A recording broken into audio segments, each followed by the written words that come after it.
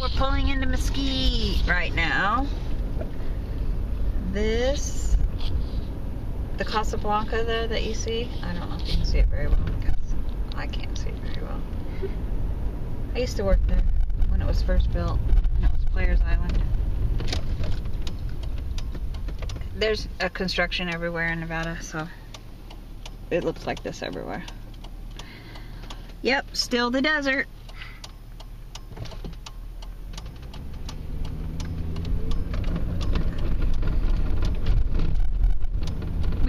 Drove uh, about 38 miles. yeah 38 miles to get to the closest Walmart.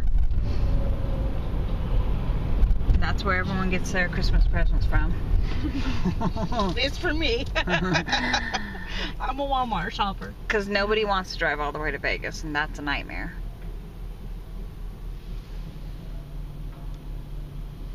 My videos are a lot shorter than yours, I notice. Because this is this is it. It all looks the same, and there's nothing exciting going on. That's about it.